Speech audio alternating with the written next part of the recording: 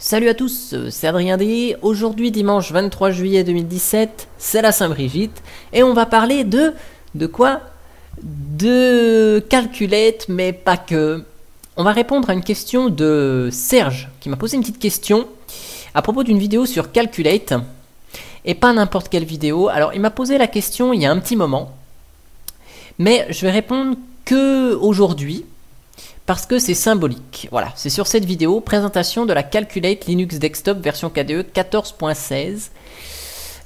Donc, pourquoi je réponds aujourd'hui? Parce que j'ai publié cette vidéo le 23 juillet 2015, donc c'est-à-dire il y a deux ans pile poil, et il faut savoir que c'est ma première vidéo, ma première vidéo que j'ai mise en ligne, je vous mettrai le lien dans le descriptif. Donc ça durait 4 minutes 22, il y avait juste une petite musique euh, de Lola d'Argenty qui m'a gentiment euh, donné la permission euh, d'utiliser sa musique pour la vidéo.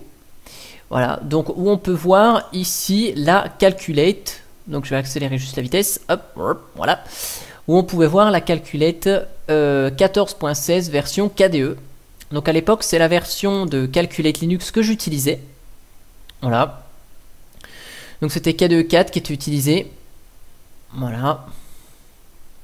Donc je présentais les différents euh, outils. Alors il n'y avait pas de voix. Il y avait juste le petit fond euh, musical, voilà, où je présentais l'ensemble des outils, combien de mémoire ça prenait au démarrage, le centre de contrôle, LibreOffice, GIMP, Steam, voilà, et euh, différents logiciels, dont la célébrissime Calculate Console avec l'exécution des mises à jour en ligne de commande en graphique. Donc là, c'était une nouveauté à l'époque. Voilà, hop, voilà, suppression des orphelins. Et la page de démarrage de calculette, bon voilà, Skype et compagnie. Donc je présentais cette, euh, distribution-là. Et euh, déjà à l'époque, on avait des superbes, euh, un super thème ici avec euh, fond marin et les pingouins là-haut, le fond d'écran euh, ici, l'écran de connexion, enfin voilà, on avait toujours ces super thèmes. Et donc Serge me dit, euh, me dit quoi? Il me dit quel chemin parcouru depuis cette première vidéo en juillet 2017 Quel est ton environnement de bureau de prédilection? Eh bien, on va répondre à cette question. C'est un petit peu compliqué en fait. Parce que, euh, donc déjà, oui, effectivement, beaucoup de chemin parcouru depuis cette première vidéo. J'ai moi-même regardé, il n'y a pas très très longtemps, mes premières vidéos.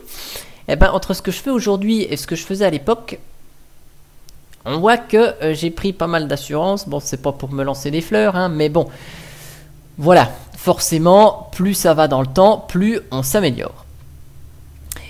Et euh, donc, quel est mon environnement de bureau de prédilection? Eh ben, au jour d'aujourd'hui, pour moi, pour moi, ah, un moto qui passe, c'est maté. Alors, pour mon utilisation à moi, bien sûr, je j'utilise maté parce que c'est léger, c'est personnalisable, donc grâce au centre de contrôle de maté, hein, on peut ici euh, gérer l'apparence comme on en a envie, euh, on a de multiples thèmes, on, peut changer l'arrière-plan, les polices, l'interface. Grosso modo, c'est très personnalisable, mais on a beaucoup de, on a beaucoup de fonctionnalités. Alors c'est un environnement de bureau en GTK+. Bien sûr, il est toujours possible d'installer les outils Qt qui vont bien pour avoir le GTK+, pour les applications Qt. Voilà. Euh, c'est personnalisable dans le sens où voilà, tout ce qui est application préférée, on peut les, les, configurer facilement via des petits outils graphiques. À propos de moi, tiens, je pourrais même mettre mon nom. Euh, on a le Matetweak qui permet d'afficher rapidement des infos. Donc, vous voyez, moi, j'aime pas les icônes sur le bureau. Hop, voilà, j'utilise pour ça. Euh, j'aime pas le, j'aime pas les animations. Hein. Ça, c'est moche. Voilà, j'aime pas ce cette petite animation voilà, qui se réduit. Donc je la vire, comme ça c'est plus simple. Après, il est assez complet dans le sens, vous voyez, je mets la fenêtre ici, pouf, elle est mise comme ça là, hop, je prends celle-là, tac, je la mets là, voilà.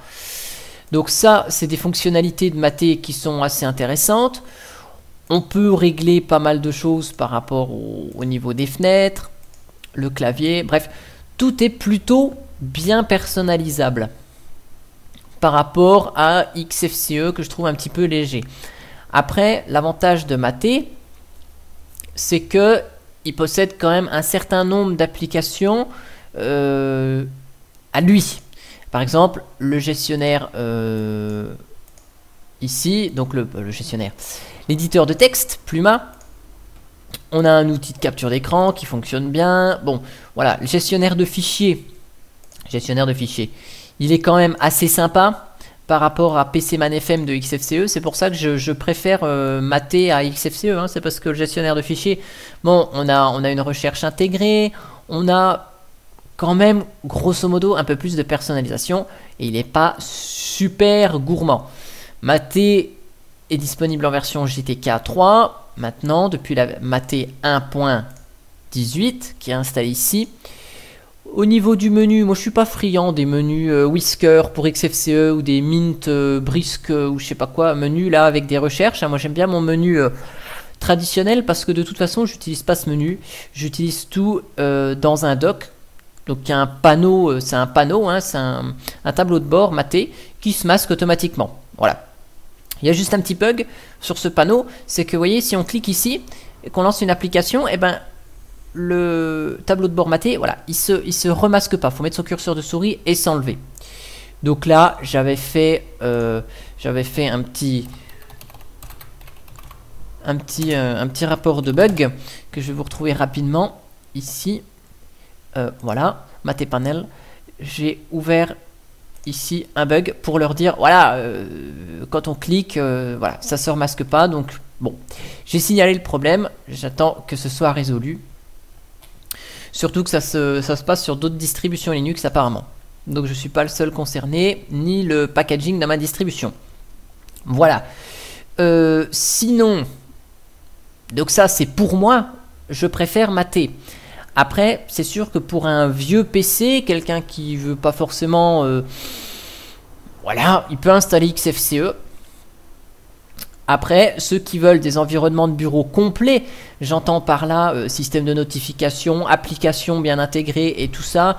Parce que voilà, par exemple, dans Maté, on n'a pas, là on a un petit calendrier, mais on n'a pas d'agenda. Si vous voulez, euh, même XFCE a un agenda, Orage, vous pouvez créer des rendez-vous, vous avez les notifications et tout ça. Bon, sous Maté, il n'y a pas. Mais moi, j'utilise l'agenda de, euh, de Thunderbird. Donc c'est pour ça que je dis que Maté, c'est mon environnement de prédilection pour moi parce que je sais que ça marche pour mon utilisation et ça me convient très bien. Après, ceux qui veulent vraiment des environnements plus complets, eh ben, ils peuvent euh, se tourner du côté de KDE ou de GNOME. Même si euh, GNOME n'est pas très ergonomique, il faut avouer que c'est quand même l'environnement de bureau le plus complet par son kit d'application. Hein. Il y, a, des applications GNOME pour tout. Hein. On a GNOME Boxes pour les machines virtuelles on a euh, Gnome, euh, on a tout ce qu'on veut quoi dans Gnome. On a Gnome Agenda, Gnome Calendar, Gnome ci, Gnome ça. Hein, on va bientôt avoir Gnome Pizza, on a Gnome Map, on a Gnome, euh, voilà. Alors que sous sous Maté, bah, par exemple, on n'a pas de Rhythmbox par exemple qui joue de la musique, c'est un lecteur de musique de Gnome. Alors que on a Gnome Vidéo qui est totem en fait ce sont des applications de l'environnement de bureau GNOME. Alors que sous Maté, bon bah voilà, on les a pas ces applications, donc on est obligé de jongler avec d'autres applications. Donc moi j'utilise Clémentine, j'utilise SM Player pour la vidéo, donc ce sont des outils en Qt, hein, mais euh, je les utilise sur l'environnement de bureau GTK, ça va très très bien. Après, euh, voilà, hein, vous pouvez installer euh, euh, le lecteur multimédia au plot, j'ai nommé euh, VLC, hein, le cône de chantier. Euh, vous pouvez utiliser Rhythmbox comme lecteur de musique, Quadlibet, vous pouvez installer ce que vous voulez sur Maté. après, Maté est léger parce que justement, il n'intègre pas petites, tous ces petits enfin tous ces petits surplus. Par exemple, Gnome est lourd parce que derrière il y a son courrieleur, évolution, et donc forcément, il y a des services qui tournent en arrière-plan. Donc ça, c'est gourmand. Voilà. Donc pour moi, c'est vrai que Maté, c'est un bon compromis entre légèreté et personnalisation. Et après, bon, bah voilà, on installe les applications de son choix pour, euh, pour agrémenter la Logitech. Et puis, euh, et puis voilà, donc pour répondre à la question, effectivement, mon environnement de bureau, c'est de prédilection, c'est Maté pour moi. Après, euh, j'avoue qu'un débutant qui, qui, commence sous Linux, Maté, ça peut le faire, personnalisé à la méthode Windows. Mais bon, un débutant, euh, on, le colle sous Linux Mint avec Cinnamon et, c'est quelque chose qui est euh, qui ressemble à Windows et puis voilà quoi, c'est familial, c'est familier plutôt. Et puis euh, et puis c'est cool. Mais bon, pour mon utilisation, moi c'est maté, personnalisé comme ça. Donc ça c'est c'est quasiment, c'est même la personnalisation par défaut des Calculate Linux. Hein. D'ailleurs, dans ma vidéo, on voit bien que la barre en haut était, ça c'est la présentation par défaut, on avait la barre en haut et puis la barre en bas avec un dock. Et eh bien maté, moi j'ai pris l'habitude de cette personnalisation et c'est vrai que c'est super sympa parce que là on a les fenêtres qui sont honnêtement à hauteur Dieu puisque c'est plus facile de regarder en haut de l'écran qu'en bas de l'écran. Voilà, avec l'horloge, enfin on a tout sous les yeux. Et puis en bas on a un dock, voilà, donc au lieu d'utiliser Planck ou Doki qui prennent des ressources, qui installe des choses supplémentaires, bah, autant utiliser les fonctionnalités de l'environnement de bureau. Voilà, voilà. Après, il y a des petites choses. Avant, j'étais sous KDE, il y a des petites choses que j'ai perdues, notamment la possibilité d'écrire sur l'écran. Voilà, c'est une chose que j'ai perdue, mais finalement, on fait sans. Euh, j'ai une chose que j'ai perdue aussi, c'est quand je déplace les fenêtres, j'ai pas d'effet transparent. J'aimais bien mettre l'effet transparent. Ou ici, régler la transparence d'une fenêtre. On pourrait régler la transparence d'une fenêtre.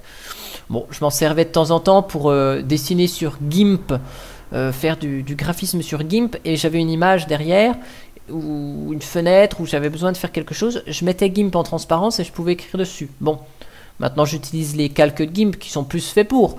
Mais voilà, c'est des petites fonctionnalités que, que j'ai perdues de KDE à mater, mais honnêtement, c'est quand même pas. Euh, voilà quoi, on va quand même pas crucifier mater juste pour ces petits, euh, ces petits euh, détails-là. Voilà. Bref, euh, je pense que j'ai assez parlé, je pense que j'ai répondu à la question de, Serge, je pense que ma vidéo a un petit peu de contenu. Enfin, voilà. Si vous voulez réagir à cette vidéo dans les commentaires, eh ben, vous pouvez le faire, il n'y a pas de souci. Je ne suis pas fermé aux critiques et aux commentaires. Sur ce, moi je vous dis à bientôt pour une prochaine vidéo. Allez, ciao